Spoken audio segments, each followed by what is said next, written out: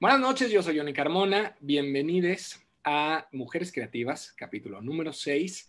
Ya llevamos seis capítulos de esto, es, de esta serie maravillosa. La verdad es que estoy muy feliz. Estamos en vivo y en directo desde el Facebook de la Universidad de la Comunicación y de Rumbo Acán en estos lunes de visibilidad creativa femenina, porque a lo largo de seis lunes he dicho que hace falta que las mujeres tengan representación, visibilidad y que sobre todo todas las personas que estamos involucradas en la industria de la publicidad mexicana las tengamos presentes. Entonces, sin más, presento a Aide Tamara Mendoza Pedrosa, directora creativa de Recreo, bienvenida. Eh, Mashe Estrada Lavín, eh, directora creativa en Ogilvy. Paulina Espinosa Prida, director creativo en Ogilvy. Eh, Diana Aro y Tatiana Rico Cortés, una dupla que nos acompaña. De, ellas son Senior Creative Copywriter y Senior Art Director en Circus. Bienvenidas, chicas. Y Karen Arosamena, ella es Arte Digital Senior en Recreo. Muchas, muchas gracias por estar con nosotros. Y bueno, eh, justamente este, estos lunes son para dar visibilidad. Entonces, a mí me gustaría saber de cada una de ustedes cómo, cómo están situadas en la industria de la publicidad mexicana y qué tanto les han hecho saber que son mujeres en el sentido de, pues, cerrar oportunidades o, o no han tenido ningún problema, porque también me ha tocado, ¿no? Que hay, hay chavas que dicen, yo, ¿qué patriarcado? ¿Qué es eso? ¿No? Entonces, este, me gustaría saber su aproximación con, con, esta situación. Que guste iniciar. Venga, Diana y luego Paue. Pues creo que hasta ahora he tenido mucha suerte. Este, como dices, te ha tocado otras mujeres que han dicho lo mismo. Eh, he tenido también jefas mujeres que me han inspirado y me han ayudado a crecer, pero también mis jefes hombres me han hecho crecer muchísimo, como que siempre han tenido confianza en mí. Lo que sí viví alguna vez fue un caso de, de un, un, director de la agencia, fue un poco, bueno, no, un poco muy misógino con un equipo de puras mujeres que, que hubo, este, pero fuera de eso, o sea, que de hecho me enteré hasta que me salí de esa agencia, pero fuera de eso, todo muy bien. Y, yo he sentido como mucho apoyo de todos los equipos en los que he estado, entonces me siento muy afortunada. Perfecto. Paue. Bueno, Johnny, antes que nada, muchísimas gracias por la invitación. Arián, gracias por considerarnos a todas nosotras. Chicas, un placer compartir con ustedes el espacio. Este, la verdad es que en poco más, bueno, creo que he estado en este medio un poco más de 16 años y no me había tocado un espacio como este en donde de pronto es un espacio creado para nosotras, ¿no? Entonces, muchas gracias por eso.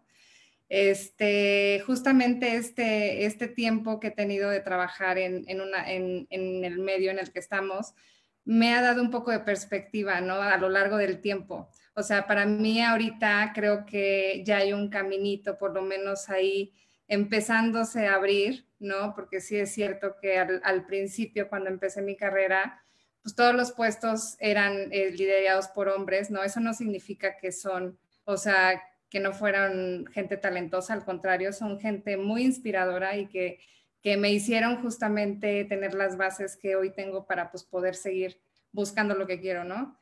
Este, pero hoy en día creo que ya, a mí que me tocó ver como toda esta trayectoria, este, creo que sí, ya se ven más mujeres en todos los, en todos los puestos, tanto en cuentas como en artes, copies, ¿no? Este, con, mucho, con muchas ganas de, pues, de trabajar duro, ¿no? Entonces creo que vamos por buen camino, falta un montón, pero creo que no estamos de cero. No, obviamente, obviamente no es Mad Men, pero sí nos falta mucho todavía como industria. Ok, a ver, si quieren para que ya no haya este rollo, a ver, Karen, cuéntanos. Les cuento que, bueno, yo llevo apenas tres años ya en el mundo laboral, en agencia, y afortunadamente yo no he tenido esta situación de esta disputa entre géneros, o sea, tanto en la agencia pasada como en la actual ha habido eh, roles que son cabezas, tanto hombres y mujeres, entonces ha sido muy parejo hasta donde yo me he encontrado con esto. Entonces, ¿estás en una situación cómoda, tranquila, a gusto? Sí, así es. Menos mal. Muy bien. Gracias, Karen. Eh, Marcela, cuéntanos. Uy, yo, este, mira, yo, Johnny y todas, hola todos, este, eh, la verdad es que eh, tengo 12 años casi en Ogilvy y la verdad es que a mí me ha ido muy bien, no, no tengo como, como mucho que decir en contra ni nada, he tenido jefes y jefas muy inspiradores, otros no tanto, este, pero de todos he aprendido un chorro, ¿no? Todos han dejado como algo bueno y también algo malo. De lo malo lo he hecho como bueno para mí, este, saber a dónde quiero llegar y a dónde quiero ir. Este, pero algo como, como fuerte que me haya pasado, no, la verdad es que creo que estoy en una agencia donde el respeto al ser humano como tal es lo principal. Entonces creo que eso también nos ha formado mucho dentro de la agencia, ¿no? A respetar este, en en lo más que se puede al ser humano, no tanto como a un género, no tanto como a como si eres hombre, mujer, este, lo que sea, sino que a todos por igual. Entonces, son cosas que yo he aprendido dentro de la agencia a, ser parte de mi persona también. Entonces, yo nunca he tenido tampoco una mala experiencia, al contrario, ¿no? Este, me ha ido bastante bien. Qué bueno, qué bueno. No, la verdad, qué, qué, qué chido. Tamara, cuéntanos un poquito. Pues la verdad es que yo también he tenido nada más una buena experiencia en la publicidad. O sea, ha sido como súper bonita. Eh, la mayoría de mis jefes siempre han sido hombres. En Recreo, pues es una agencia independiente, no somos muchas personas, entonces pues tampoco he tenido como, como que nuestra jerarquía no es como muy amplia como en otros lados, entonces pues están arriba de mí dos, tres personas, dependiendo como del puesto en el que estás, y la mayoría siempre han sido hombres, pero la verdad es que nunca me han hecho sentir menos por ser mi mujer, mis ideas siempre han sido igual de bien recibidas que los demás, o sea, como que siempre he sentido que todo es súper, súper parejo, como súper horizontal, nunca me he sentido diferente a ellos, ningún como comentario pesado o mala experiencia, la verdad es que todo siempre ha sido como súper equitativo. Qué bonito. A ver, Tatiana, cuéntanos. Eh, bueno, pues yo soy de Colombia, entonces, siento que en Colombia, llevo acá en México como tres años ya. En Colombia sí fui de las típicas de equipo de 30 creativos y era la única. Eh, aquí, eh, bueno, cuando vine, vine a dirigir Element, eh, donde estaba Cami, que es mujer y por el hecho como que de ser mujer, sí, como que tenía equilibrado un poquito el, el equipo sí, sí me ha tocado pelearme muchas veces, se me hace muy raro que, que solo creo que soy yo, entonces la que sí me ha tocado como más, más, digamos que tomar esta posición un poco de, de, pelea, eh, porque sí me han tocado muchas veces en, eh, de mansplaining, me han hecho también de, no sé, de, de que no, de que no valen mis ideas, ya no tanto, pero al principio sí, obvio, me tocó.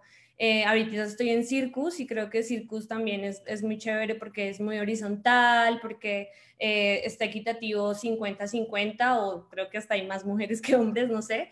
Pero sí, a mí al principio sí me tocó, bueno, ah, no sé si, creo que sí soy la única, pero sí me tocó ser la única, ser la que pelea, ser la que te toca hacerse valer como sea y tuve muy poquitas jefes mujeres, eh, de hecho solamente dos o tres, que me han inspirado un montón, eh, pero bueno, sí, creo que sí me ha tocado un poquito más duro. Bueno, es que quizá, digo, me atrevo a decir algo que quizá aplica aquí, quizá no, pero quizá eres la única que está consciente de las micro, micro, micro violencias. Porque eh, sobre todo en nuestra dinámica diaria como mexicanos, nos dedicamos a invalidar constantemente, a no, no, no. Lo que decías del mansplaining, o sea, de repente creo que como sociedad no estamos conscientes de las microviolencias. Creemos que, como no hay nada físico, como no hubo una obstrucción como tal, entonces no vivimos en, en ambientes violentos, pero creo que constantemente vivimos la violencia porque ser mexicano es, es, un hecho violento, ¿no? O sea, o ser latinoamericano, ¿no? Es, es un hecho violento. Entonces, desde estas situaciones un poco más desahogadas de todas, ¿qué tanto sienten que la industria publicitaria en México es responsable de los roles de género históricos que tenemos como sociedad? Empieza tú, Tatiana, si quieres.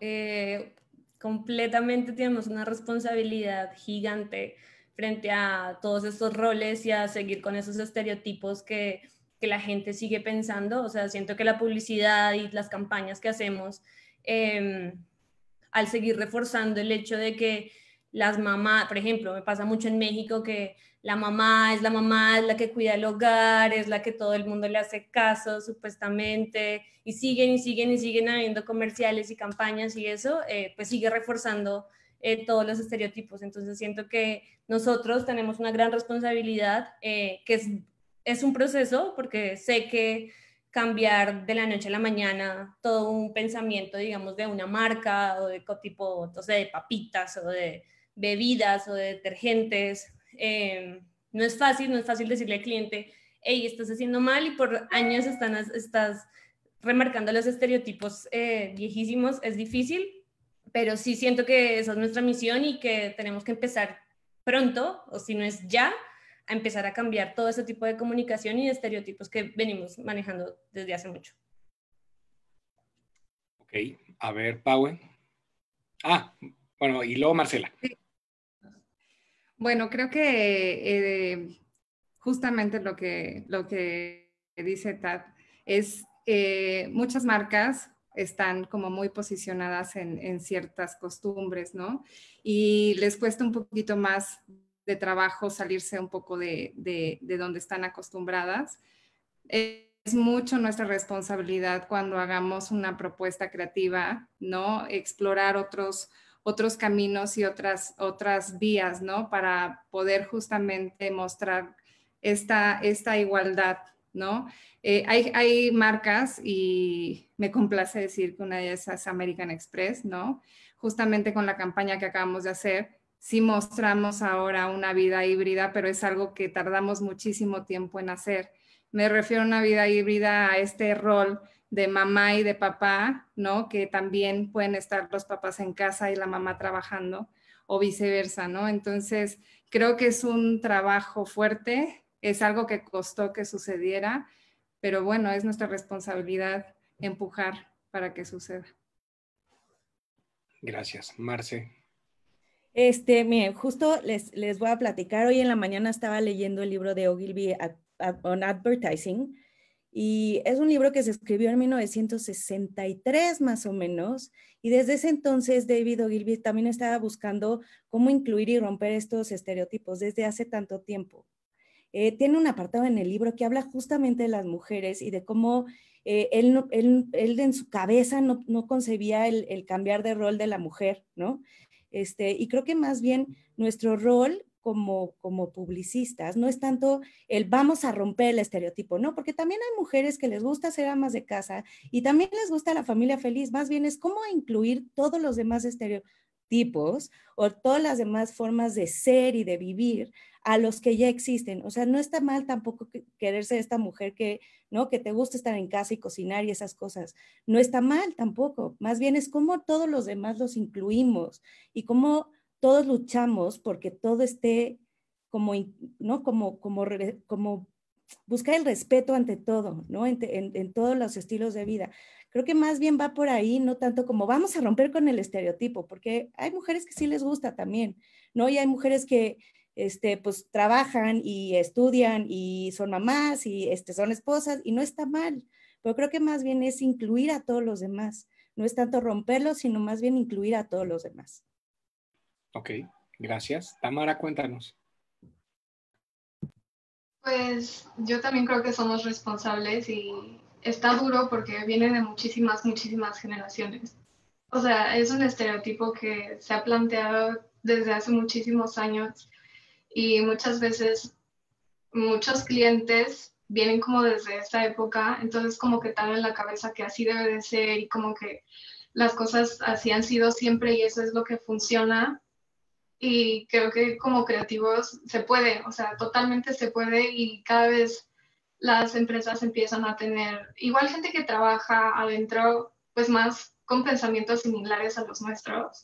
Y eso se agradece muchísimo porque es cuando puedes empujar de verdad una idea que sea distinta y que pueda pues alejarnos de esta idea como de estereotipo no solo de, de, mujeres, también de hombres y de niños y de, o sea, como los roles que están preestablecidos en nuestras cabezas que nos afectan, sí a las mujeres, pero realmente nos afectan a todos, o sea, y entre más podamos empujarlo, o sea, ahorita hablando de mujeres, pues se puede, pero pues también podemos empujar a estereotipos de hombres y estereotipos de niñas y como que podemos irlo abriendo en cuanto pues veamos como una pequeña oportunidad ahí, darle y estar insistiendo, insistiendo hasta que se pueda.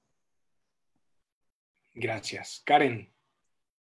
Yo creo que es algo que se está formando poco a poco. O sea, en algún momento existían marcas que tenían cierta comunicación de algún tipo de lenguaje machista, pero creo que poco a poco se están cambiando esas formas de comunicarse. Por ejemplo, eh, estamos justo en la reconstrucción de lo que vamos a decir. O sea, en cualquier momento puedes dar o puedes comentar dichos que pueden ser tanto machistas o tanto, eh, no sé, que puedes denigrar a las personas, pero creo que justo en este momento estamos en el momento de pensar dos veces antes de hablar. O sea, estamos en la reconstrucción de lo que vamos a decir. Y creo que es importante ahorita en el mundo de la, publicidad, cómo se está manejando, porque en algún momento a las marcas no les importaba dar un mensaje de ese tipo o misógino o agresivo, etcétera. Pero creo que poco a poco se está dando ese cambio. Creo que, es, o sea, falta mucho, pero estamos en ese proceso todavía. Ahí vamos. Hay marcas que creen que siguen en 1950, pero bueno. Eh, Diana. También creo que hay marcas que quieren ser súper revolucionarias y lo hacen como mal, por querer hacerlo bien, lo hacen mal. Por ejemplo, Tats nos hizo un workshop de, de, en el que analizamos campañas pasadas y así anuncios y todo, y teníamos que ver los estereotipos. Y justo una que es como de hace medio año, que sale el esposo lavando los trastes, pero con guantes rosas, pero la chava diciendo como, ay, yo estoy jugando PlayStation y no sé qué, o sea, se veía tan forzado, pero te das cuenta que no estaba quedando bien, porque al final, ¿qué te dicen los guantes rosas? Que el trabajo es de mujer, ¿no? O sea, que el trabajo es de mujer, pero lo está haciendo el, el hombre. Y la mujer eh, jugando eh, videojuegos y diciendo, no sé, o sea, como este anuncio en específico, que igual no sé si después lo podemos pasar, eh, se veía como muy forzado y ya no, ya no queda bien. O sea, creo que las cosas tienen que darse poco a poco y naturalmente, porque si no, tampoco les queda. Ok, gracias. Eh, ¿Les parece si vemos las piezas para tener como un espacio bastante amplio y para poder comentar sobre eso. Quizá también eh, siempre los lunes dejo sobre la mesa el tema de la interseccionalidad, eh, de, de, entender las poblaciones que nunca han sido visibilizadas y que hoy en la mañana en clase con mis alumnos decía, a ver, si hay una, una marca de agua que quiere plantear una escena de una persona joven entrando a una tienda y comprando agua ¿Cuál es el problema de que esa persona joven que entra a, comprar agua tenga una prótesis de mano? ¿No? O sea, simplemente para visibilizar que las personas que no tienen oportunidades o que están entrando, porque también luego estamos en este capacitismo total, entonces alguien con una prótesis de mano entra a comprar una botella de agua y listo, se va no estamos haciendo todo un despliegue de la discapacidad, pero ahí está, ¿saben? O sea, se ve en una situación casual, orgánica, porque la gente que tiene prótesis de mano también toma agua, ¿no? Entonces, esas cosas son las que creo yo que no podemos tardarnos tanto. O sea, tendríamos ya que, y si tiene una prótesis de mano y además es moreno, no, o sea, hay muchas cosas, porque no, si no todo el mundo es blanco, de la misma talla, ¿no? Ario, eurocéntrico, y de ahí no salimos, ¿no? O si hay mujeres, hay mujeres delgadas, blancas, ¿no? Entonces, pero bueno, yo soy un poquillo más ya radical, ya, yo ya estoy un poco como lo que luego hablan en las noticias de basta de simulación. Yo ya Sí, yo- ya. bueno, pues Dame, sí, Cuéntame, Tania. Digo, Tatiana. eh, no, yo también estoy de acuerdo en que tiene que ser ya, o sea, sé que es un proceso, pero es urgente que empecemos a hacer todas estas eh, campañas, eh, incluyendo a toda la diversidad que hay. O sea, y entiendo que el país y bueno, todas las tradiciones y todas estas cosas que hay alrededor de Latinoamérica son de años y, de generaciones, pero si no empezamos nosotros a cambiar ya de a poquito, o sea, no, en todas las campañas que hacemos, eh, pues no va a pasar nada, tenemos que hacerlo ya. También soy un poco radical. No.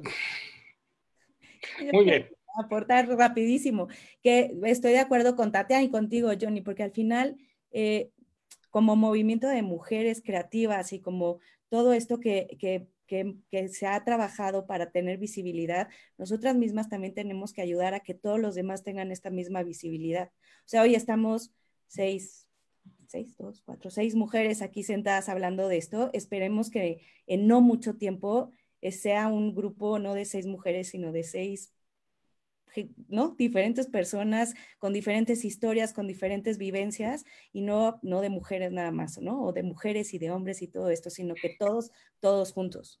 No, es, es, es un hecho que lo, al punto ideal al que deberíamos de llegar es donde el foco y lo ideal no debería de, de- de importar.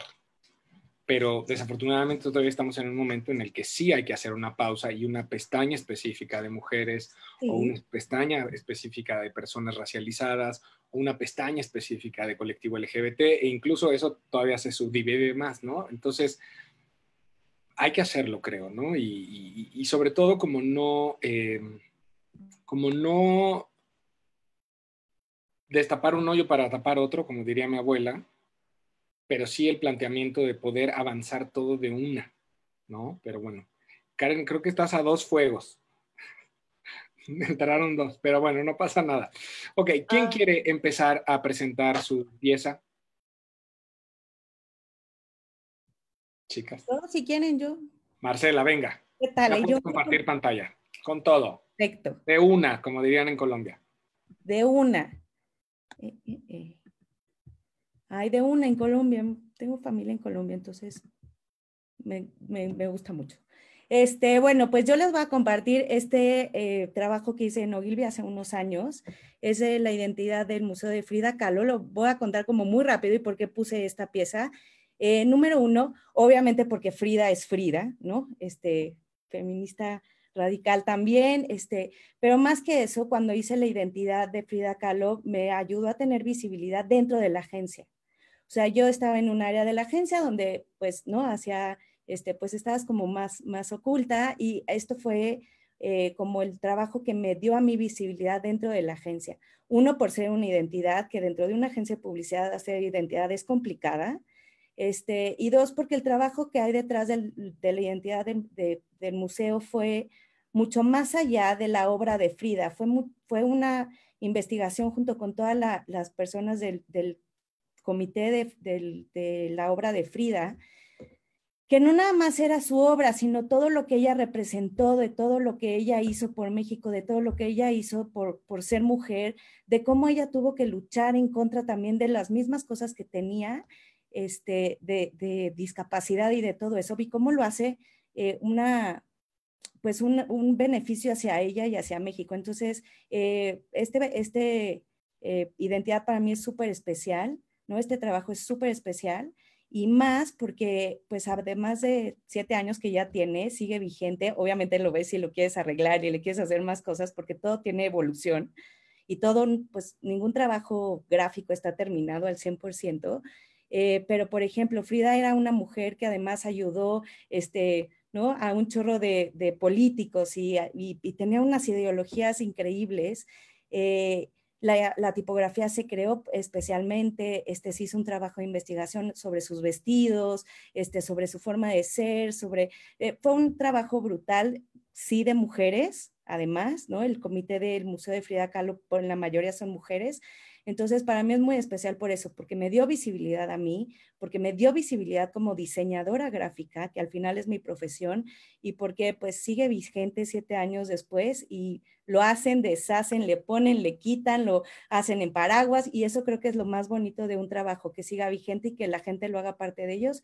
Eh, y pues esto es, eh, se los traigo como lo más especial que tengo en mi corazón.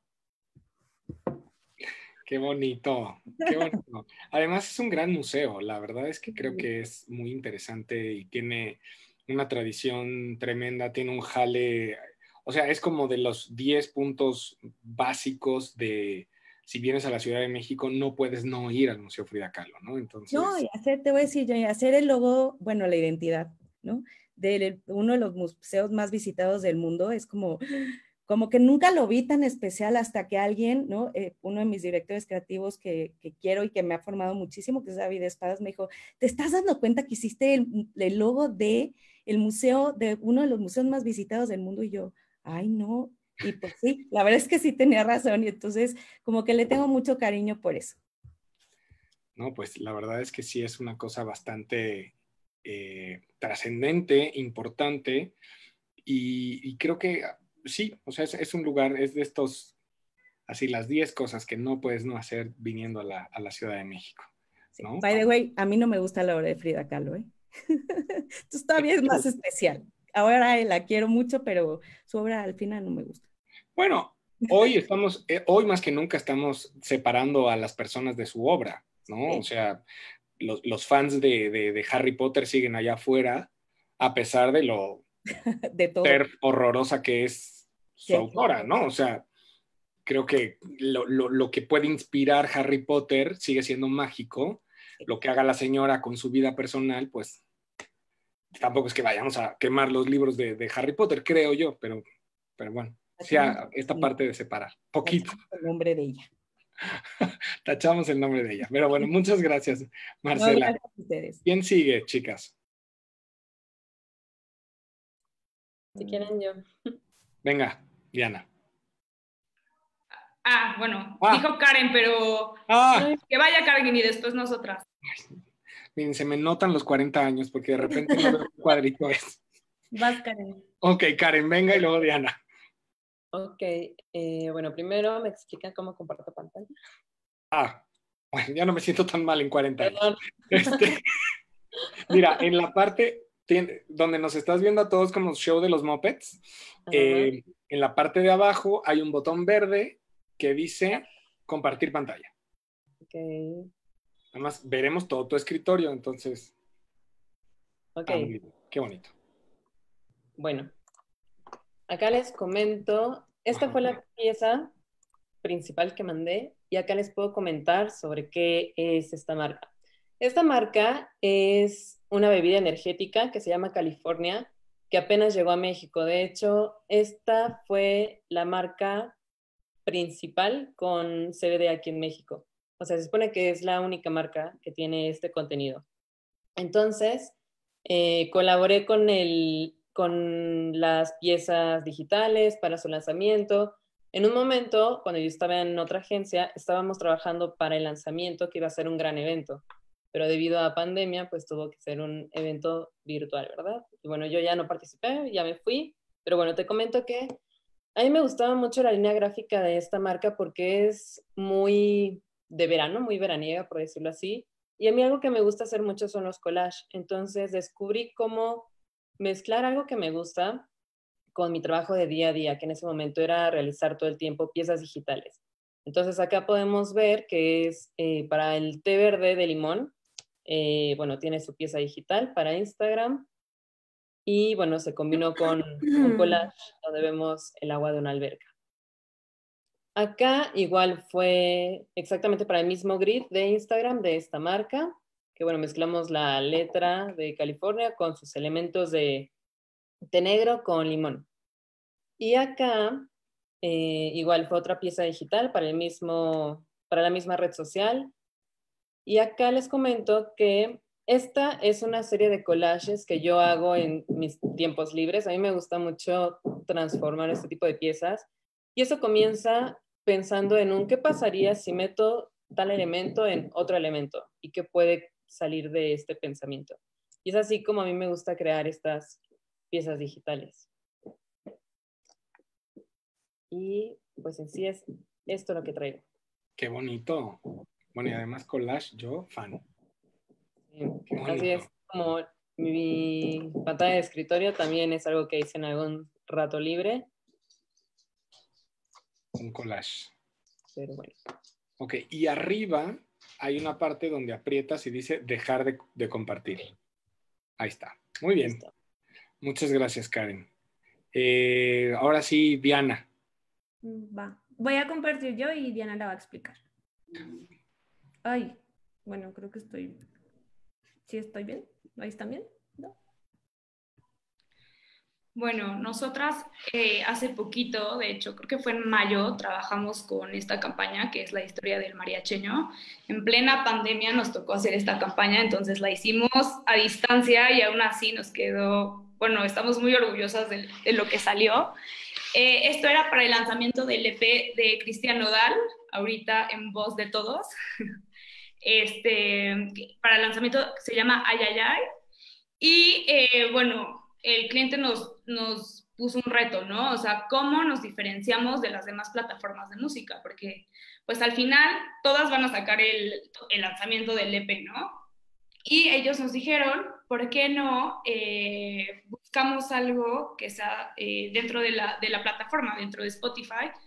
Porque eh, tenemos muchas, muchas cosas dentro de Spotify que podemos explotar. Entonces de ahí salió eh, hacer un, un, audio, un audio, audioserie eh, que es prácticamente una historia original de Spotify, es un mundo expandido del EP y, quedó increíble porque primero sacamos un trailer que también él ya venía con la onda de, vaqueros, o sea, todo el, disco se trata como que de vaqueros, eh, pero modernos. Entonces seguimos su onda y le creamos esta historia en donde él es el rompecorazones eh, y por qué se volvió así, o sea, es un por qué se volvió el, mariacheño. Y todo esto, ¿por qué el mariacheño? Porque él mismo, Cristian Nodal, dice que él es el inventor de, la fusión del mariachi con el norteño y se llama el mariacheño. Que, bueno, no sabemos si es verdad o no, pero es lo que él dice y entonces de ahí sacamos toda esta historia. Entonces el tráiler es de vaqueros, como si fuera una película, y los llevábamos al, audio, que es dentro de, Spotify. Se hicieron siete capítulos y cada capítulo explicaba una canción, o sea, era como un, ¿de qué te va a hablar esa canción? Entonces, todos estaban en orden en el DCs de Cristian Odal, que también es único de Spotify, todos los artistas tienen sus DCs. Entonces, eh, tú al escucharlo, era toda una historia completa, desde el primer capítulo, después una canción, segundo capítulo, otra canción, y así con las siete canciones. Y al final eh, te dabas cuenta que el que te estaba contando la historia era el caballo. Y estuvo muy padre, eh, los, a los fans les encantó. De hecho, antes de que saliera este, en redes la, la, campaña, muchos se dieron cuenta que ya estaba subida la historia y, y, era así como, ¿qué es esto? está increíble ya que se dieron cuenta que estaba la campaña, eh, hubo un fan que hasta hizo su cuenta de El Mariacheño con nuestra imagen y todo, y bueno, con el arte que hizo Tats, que le quedó precioso, este, y él se hacía pasar por el mariacheño y contestaba como el mariacheño y, y así, o sea, tuvimos muy, muy buena respuesta, entonces estamos muy felices de, de cómo quedó. El, la historia sigue subida en, en Spotify, la pueden encontrar como la historia del mariacheño. Ya no está en orden porque ya se quitó del DCs, pero bueno, pueden ahí ir poniendo episodio de canción y sigue, pues sigue ahí, está increíble. Perfecto. Ay, yo luego, no sé, yo luego soy muy feo, pero será increíble el día que podamos promover relaciones sanas. O sea, eso de rompecorazones es como. Sí, bueno, de hecho en la historia. No sé rollo suyo, yo sé. No, pero, voy, a comentar justo, como yo tuve el placer de escribir la historia, yo escribí el, el, el audio, la serie, pues, no las canciones, la serie. Este, justo eh, me tomé, o sea, estuve muy cuidadosa de que él no se viera como un machista, este, y que las mujeres tampoco se vieran como, ay, me rompió el corazón, o sea, tampoco, o sea, yo tuve mucho cuidado justo para que todos los personajes tuvieran un rol que no fuera ni machista, ni la sumisa, ni nada de eso. O sea, de hecho las mujeres las describí como era una mujer increíble, no sé qué, que no se dejaba conquistar por nadie, pero él, se enamoró del mariacheño y no sé qué. Y la chava justo dice como, bueno, eh, yo sabía que el mariacheño tenía que seguir libre y lo dejé ir. O sea, como yo lo dejé ir, ¿no? Entonces yo tuve mucho cuidado para que justo no se viera como que él era un machista malo, ni mucho menos, y todas las mujeres tuvieran un papel este, fuerte. Ok, pues ya me dieron ganas de verla entonces. Bueno, escucharla. ok, va. Eh, tú cuéntanos un poco de tu experiencia, Tatiana. Eh, bueno, a mí, la verdad, somos muy felices, Diana y yo, con Spotify porque cliente em, como que nos deja hacer muchas cosas y somos como muy libres. Entonces, en cuanto al arte, em, pues nada, fue súper lindo porque era, tenía medio influencias de Quentin Tarantino y como explosión de colores y cliente como que nunca nos dice como, no, esto no. Entonces es muy chévere trabajar eh, porque pues es, o sea, tanto Diana como yo, eh, bueno, Diana, que no sé si el sueño de todos los copies, me imagino que sí, es, es, escribir como tipo podcast, o escribir su cuento, o escribir su, eh, su, su, historia, y, y, lo hizo 100% eh, libre, y bueno, a mí siempre como que el hecho de que el cliente no me diga el logo más grande, el logo no sé qué, sino que siempre nos dejan ser, entonces también por eso es tan bonito como que trabajar con esta cuenta, la verdad. Y, y sí, también teníamos mucho cuidado en, por ejemplo, no poner a una mujer así toda sexy, hermosa, sino más bien nos fuimos a ilustraciones, nos fuimos, usamos, usamos recursos de caballos, de otras cosas, que no siguieran marcando eh, o remarcando estos estereotipos de cosificación de la mujer y todo esto, ¿no? Entonces, como que siempre nos vamos por la tangente en cuanto a eso, así la letra sea... ¿Cuál es la que es horrible? Ay, perdón, ¿cuál es la que no nos gusta? Es que hay una que se llama amor tóxico. Entonces, justo, sí, y ya salió, y justo eh, teníamos como ahí un issue con el nombre de la canción, y porque feministas, nombre de la canción y así, pero a lo que voy, en la historia de, del mini podcast, de este mundo expandido, lo llevamos a, a otro lado, en el que en el que solo está contando una historia, pero no es malo, no es el machista, pero eso es en la historia, pero la canción es otra cosa. no, no, no, yo sé que ya el equipo creativo de Nodal tendrán sus juntas o no, pero bueno, la parte que les tocó, qué interesante es, es justo esto es lo que creo que, que es la oportunidad de la, de la, industria creativa, ¿no? En el, en, el, en el metro cuadrado que te dan chance de hacer las cosas, hacer cosas interesantes en ese metro cuadrado. Porque no crean, no, no, no hablo de, la inconsciencia, sé que los clientes luego son tremendos y es, me lo haces porque me lo haces y entonces vienes estira y afloje y demás, pero no. Muchas gracias, felicidades, chicas. Ok, ¿quién sigue? ¿Quién? Yo. Ok, ahora sí vi. Tamara. A ver, es a quien compartió, ¿no? Sí.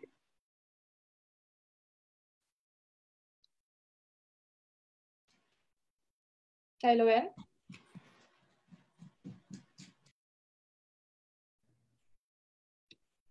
¿Me escuchan? Sí. Ah. Este, pues nada, a mí me parecía importante mostrar las campañas que hemos hecho en Recreo de Salsol. Este, Salsol es una marca de sal de mar, pues al final es un producto de cocina que pues todos tenemos en la cabeza esta idea de que la mujer va en la cocina, ¿no? Entonces, pues es un poco de lo que hablábamos hace rato, de que se puede si ves como una pequeña lucecita en tu cliente, eh, tienes que aprovecharla.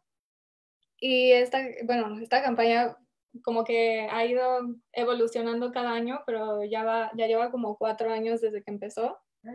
Eh, cuando empezó, yo todavía era como junior en la agencia. Eh, el equipo era de puros hombres, estaba Oz, estaba Pimpón, estaba Dani, obviamente pues Spooky o sea, eran puros hombres y, y pues se logró esto para quitar como este estereotipo de que la mamá te ama, entonces por eso te cuida y te cocina y quizá pues, si piensas en sal, piensas en el clásico no sé, la mesa de la familia y la mamá cocinando, no sé, ya sabes, como muchas marcas de, de alimentos y muchas cosas instantáneas que te lo muestran, como que pues logramos salirnos de, de, eso y pues aquí aprovechamos como el diferenciador de la marca que es, que es una sal de mar.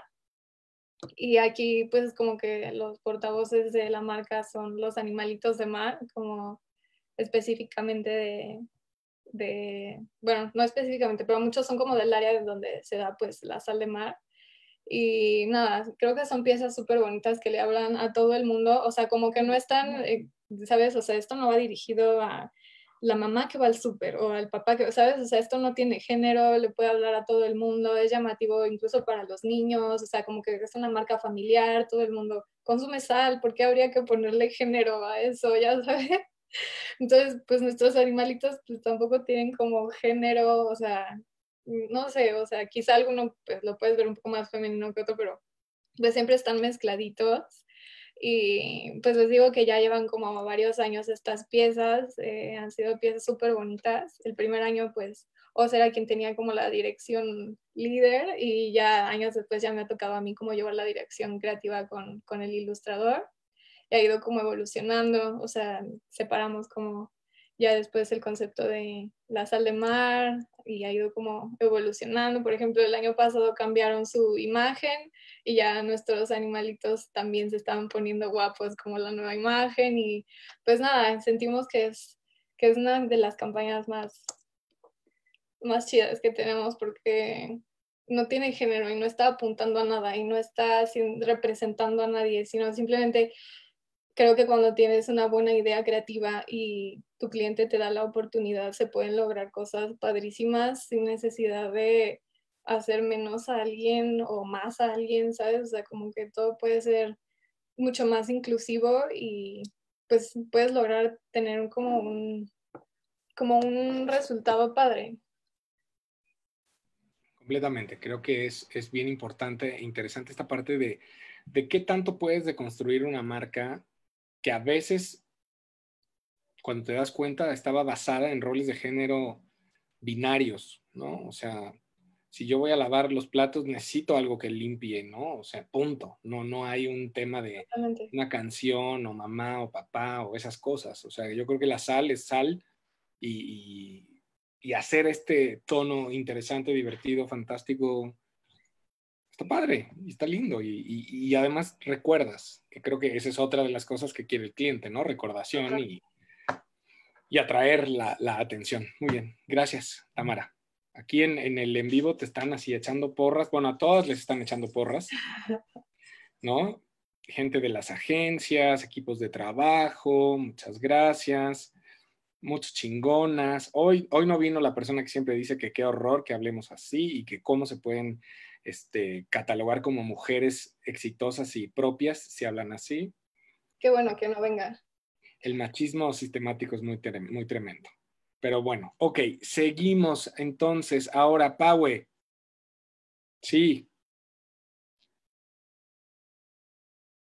Pero estás, la frase del año, estás en mute. Voy. Listo.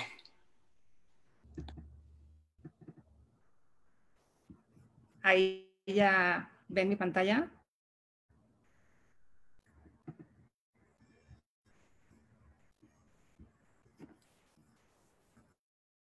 ¿Ven mi pantalla ahí? Sí. Sí. Perdón, es que se me estaba trabando un poquito. Bueno, básicamente este, les quise compartir este trabajo ya que significó un momento muy importante para, tanto para la, para la marca como para mí a nivel profesional. Este, la, la, campaña que les, les voy a, a, contar un poquito se llama Libera el Potencial de American Express, que... Ay,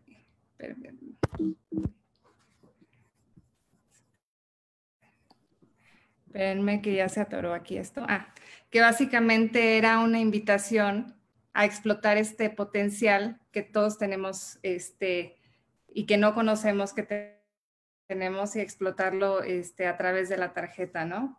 Este, para la marca yo creo que fue un momento de cambio total, ¿no? Es eh, tanto en la forma de comunicar, ¿no? Este, en forma eh, de gráfica y en, tono y manera, ¿no? Este, quitando estos estereotipos totalmente de, fotografía que traíamos de un mundo muy, muy inalcanzable, ¿no? Este, en donde a lo mejor no todos podían participar y llevarlo totalmente a un mundo de ilustraciones con cabezas, con mucho ingenio, ¿no? Entonces, eh, de este lado, evidentemente para mí, este, fue retador porque con este proyecto empecé a tener más responsabilidad de dirigir, ¿no? Entonces, el migrar una comunicación y una, una marca completa a un nuevo estilo, con un look totalmente diferente, 100% ilustraciones y copies ganadores, ¿no? Este, fue una gran experiencia, fue muy divertido fue complicado también, con muchos procesos, pero la verdad es que estuvo increíble, mucha gente involucrada, este, mucha gente talentosa, entonces creo que, creo que fue este, bastante padre. Este es uno de los ejemplos, ¿no? Dice servicio diario insólito, ¿no? Y más o menos lo que tratábamos era de, de, de contarle a todos los prospectos justamente esta cualidad que American Express tiene como como tarjeta, ¿no? Que es la parte del servicio. Y los copies decían día a día, día tras día, ayudamos a, a crear increíbles experiencias, vamos mucho más allá y un poquito más lejos. Todo es parte de nuestro servicio, ¿no? Este es otro ejemplo. No sigas la moda, imponla. Tu estilo es único y personal, nuestro servicio también. Servicio diario resuelto y sin preocupaciones. Y esta es una palabra que quisimos hacer como muy, muy fuerte. Creo que tiene, tiene, mucha fuerza y ejemplifica muchísimo el, lo que queremos contar con, con, lo que queríamos contar en ese momento con, con la campaña, ¿no? Que todo es posible este, este, siempre y cuando eh, te avientes a, a hacerlo con la tarjeta, ¿no? Y este es un poquito un, acercamiento de lo mucho que hicimos. Fue una, fue una campaña que duró mucho tiempo. Esto fue como parte de los inicios, ¿no? Pero es una campaña que fue evolucionando durante cinco o seis años, ¿no? Tuvo varias fases hasta regresar otra vez a la fotografía, pero ya con un tono totalmente distinto, ¿no? Y básicamente fue esto. Qué bonita está. La verdad es que siempre me llamó la atención y creo que es, es esta técnica de ilustración muy sencilla, pero que a la vez se vuelve muy atractiva, muy recordable, ¿no? Creo que... Y te puedes conectar desde muchos aspectos. Igual no te está generando roles, no te está generando nada binario, ¿no?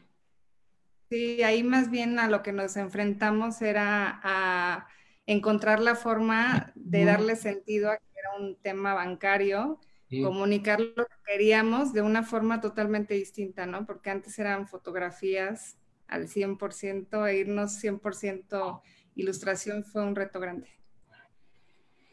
Porque de repente creo que también los clientes sienten que no, que no es suficiente. Eso también es muy mexicano, somos muy barrocos.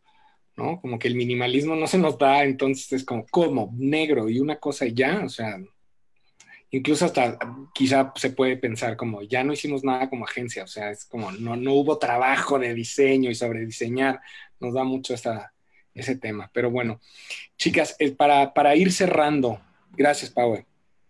Eh, pues siguen acá echándoles muchas porras. Que muchas gracias, eres una inspiración. Felicidades. Hay equipos de trabajo de las agencias. No, no, no, muy bien. La verdad es que creo que es importante, dice Cintia Pedrosa, proyectar la idea del cliente, recreo, no bueno, acá, todo el mundo. Pero bueno, para ir cerrando, eh, ¿cuál es el, el mayor reto que tienen entre sus manos como mujeres creativas hoy? A ver, Tamara. Ok, bueno, creo que tenemos un reto de superarnos siempre y de dar el ejemplo de que se puede, que no tiene nada que ver nuestro género, para poder em, empezar a inspirar a generaciones que vienen abajo. Porque yo lo que he visto es que es como un ciclo tóxico de la publicidad, que como no hay mujeres, en, bueno, muchas mujeres en cargos muy altos, pues como que las chicas no se ven reflejadas, entonces pues como que no lo eligen como su carrera o como su profesión. Entonces como que siento que es como un ciclo de como no hay chicas arriba, pues las de abajo como que no se interesan y como que se vuelve ahí este rollo súper tóxico y nuestra responsabilidad es empezar a, a generar con nuestro trabajo y con nuestras ideas como mayores oportunidades, no solo para nosotras, sino como para las que vienen, ¿sabes? O sea, para que cada vez seamos más y cada vez todo sea mucho más inclusivo y que pues se empiece a quitar como este estereotipo de que la publicidad es de hombres y como por hombres para hombres. O sea, nada, está difícil, está difícil porque son muchísimos años y está duro para nosotras, pero creo que se puede y que, que lo vamos a lograr ahí poco a poco. Perfecto.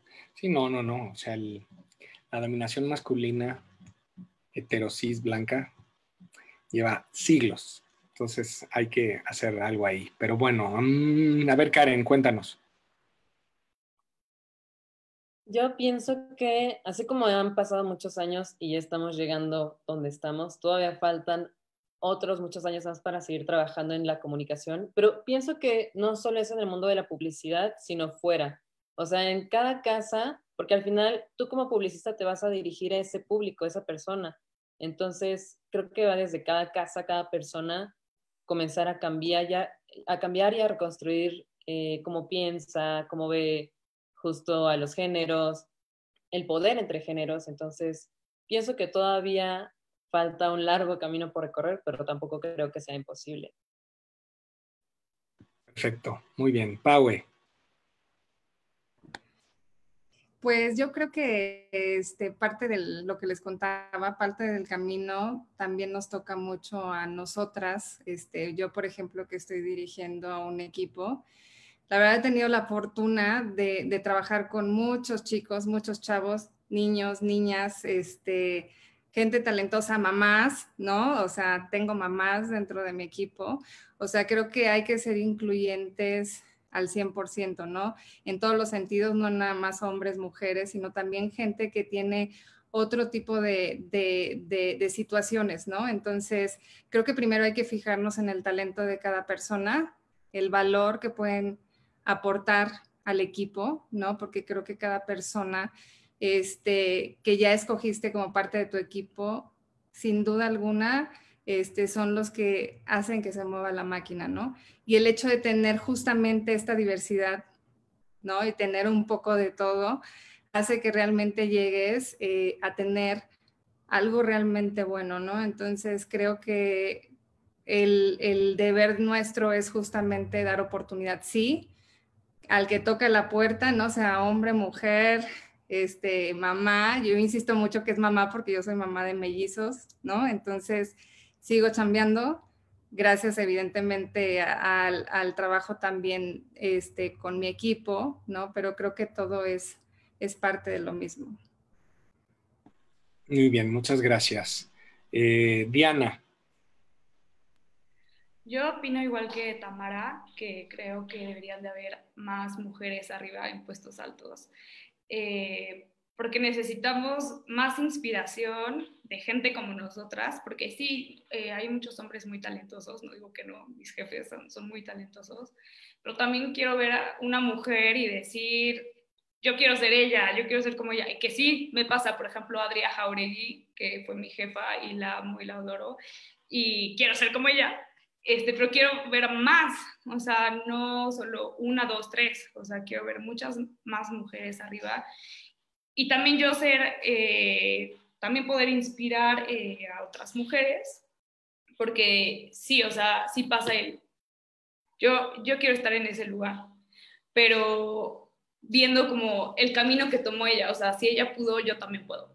Entonces está padre inspirarnos entre nosotras y, no tirarnos. De hecho, justo por eso Tatsi y yo nos quisimos poner como dupla, porque sabemos que entre más mujeres somos y más se puede hacer. O sea, entre todas podemos lograr mucho más. Perfecto. Muchas gracias, Diana. Marcela. Yo, este, pues mira, yo eh, escuchándolas a todas, creo que hoy yo tengo, igual que Pau, la fortuna de estar en Ogilvy, que tiene Girl Power en todo el top team, la verdad, este, que la, yo creo que lo que tenemos ahorita como mujeres en Ogilvy es seguir con el legado que ellas están haciendo, ¿no? Jess, este, Vero, Katia, hay, el top team de la agencia es mujer, entonces creo que nosotras tenemos la responsabilidad de continuar con lo que ellas están construyendo. Y como dice Tamar y como dice Dan y Karen y todas, es, es inspirar a los que están empezando, a los que están trabajando y a todos los, los que están a nuestro alrededor a ser mejores. Definitivo. Muchas gracias, Marcela. Tatiana.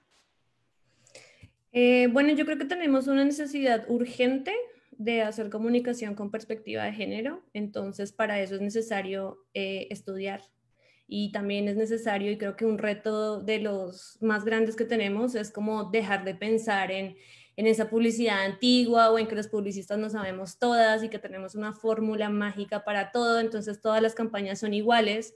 Eh, y tenemos que empezar a nosotros mismos a, a, aprender sobre perspectiva de género, a ver sobre diversidad. Y es urgente porque, no sé, pero no sé si a ustedes les pasa, pero a mí me pasa que todas las campañas son iguales ahora. Y em, pues si eso no cambia, no vamos a poder inspirar ni crear eh, equipos eh, que estén inspirándose en nosotras o no vamos a tener eh, nuevos enfoques creativos. Entonces, siento que el reto más grande es que nosotros mismos los publicistas, que ya llevamos un rato en esto, empecemos a estudiar perspectiva de género. Eh, y no solamente en cuanto a mujeres, sino como dice Paui, en cuanto a mamás, en cuanto a eh, comunidades afrodescendientes, e empezar a incluirles a todos y hacer cosas creativas con eso, porque siento que ahora todo es una fórmula que es súper aburrido, o, si no, o sea, si no es el camino del meme chistoso, eh, es el camino emotivo que hace llorar. Entonces siento que hay una necesidad urgente de empezar a, a buscar diferentes formas de comunicación a través de la perspectiva de género y a través de estudiar cosas distintas que no sea lo mismo de siempre. Y si me permiten añadir, y dejar de usar las mismas locaciones. Ya Print 30, por favor, ya la esquina de Orizaba y Álvaro Obregón, ya, o sea, pero bueno. Chicas, un placer. La verdad, muchas gracias, muchas, muchas gracias. Tamara, Tatiana, Marcela, Paue, Karen y Diana. Ustedes son las mujeres creativas que nos pueden ayudar a, tener una, industria publicitaria mucho más nutrida, mucho más útil, ¿no? Porque creo que la publicidad surge como una herramienta útil para la sociedad. Entonces, es, es un momento idóneo para retomar esta utilidad y que realmente sea efectiva. Les agradezco muchísimo. Muchas, muchas gracias. Gracias. Gracias. Muchas gracias a toda la gente que se conectó con nosotros en vivo y que después va a revivir este video que se queda tanto en el Facebook de la Universidad de la Comunicación como en el Facebook de Rumbo Acán. Muchísimas gracias, chicas, una vez más. Buenas noches. Gracias. gracias. Que estén muy bien. Yo soy Johnny Carmona. Nos vemos en la próxima. Sigamos siendo la comunidad que cree en sus ideas. Cuídense mucho.